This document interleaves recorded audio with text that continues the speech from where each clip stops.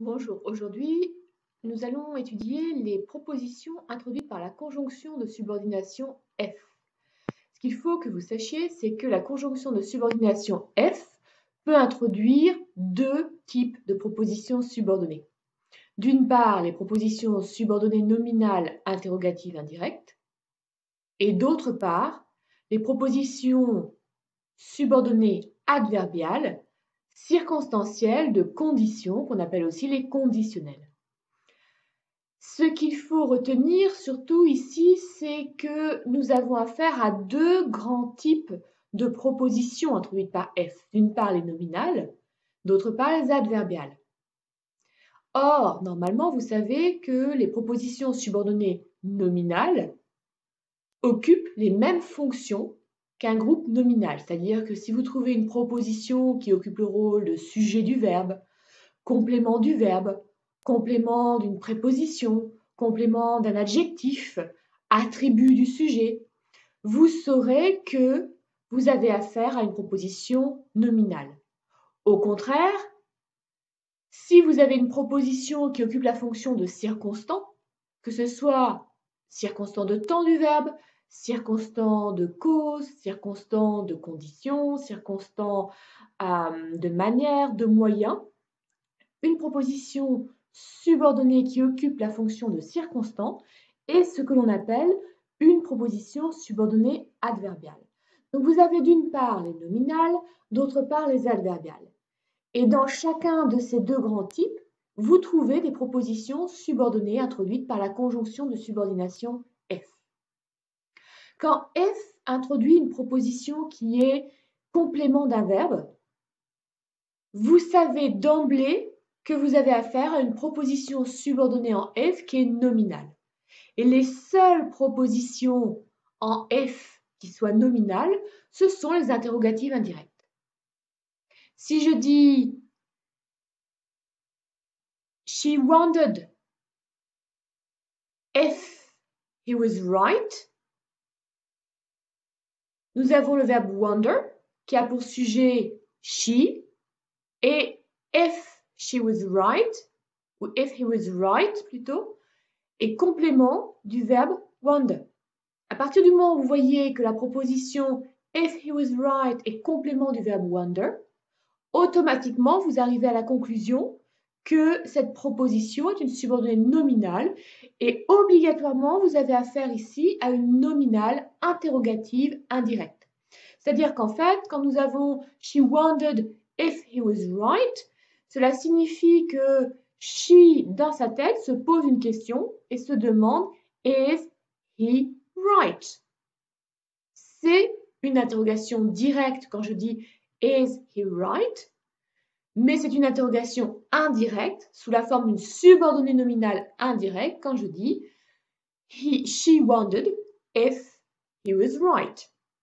Maintenant, si je vous donne une phrase telle que If they worked more, they would pass their exams. Dans la proposition en F, en fait, est exprimée la condition indispensable pour que they pass their exams. On dit bien que c'est à la condition qu'ils travaillent plus, if they worked more, qu'ils pourraient réussir leurs examens. They would pass their exams.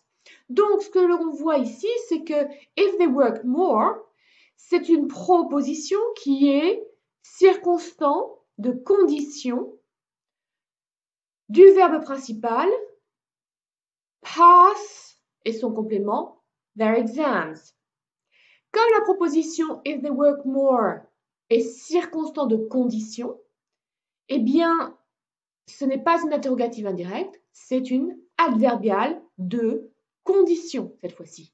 Et c'est là ce qui fait vraiment la différence entre les if qui introduisent des propositions subordonnées adverbiales circonstants de condition, des conditionnels, et les F qui introduisent des propositions subordonnées interrogatives indirectes. Dans les deux cas, F reste une conjonction de subordination, mais il peut introduire deux types de propositions subordonnées qui vont être distingués par leur sémantisme, mais surtout leur fonction.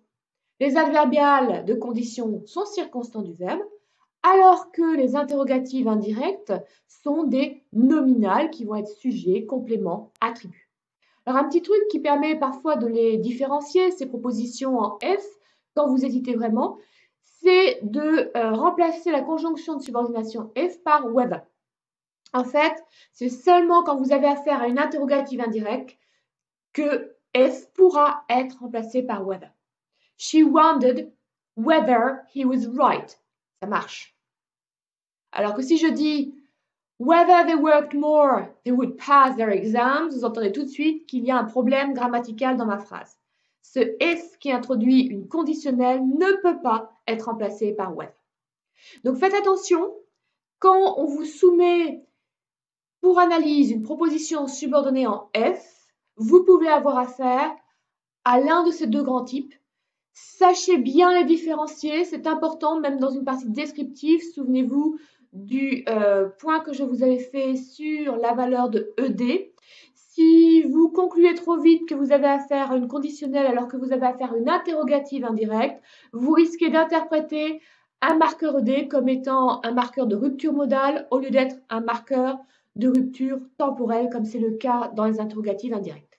Alors j'espère que cette petite mise au point sur les deux grands types de propositions subordonnées en if vous sera utile pour eh bien l'agrégation ou euh, le CAPES, puisque cela peut tomber aussi bien à l'un des concours qu'à l'autre. Mais pour l'instant, je pense que maintenant, vous visez surtout le CAPES qui arrive à la fin du mois. Bon courage à tous pour vos révisions et à très bientôt pour d'autres points. Vous n'hésitez pas à m'écrire si vous voulez que j'aborde certains points en particulier. Dès que je le peux, je le fais. Donc l'adresse c'est sandrine.oriez at. Au revoir.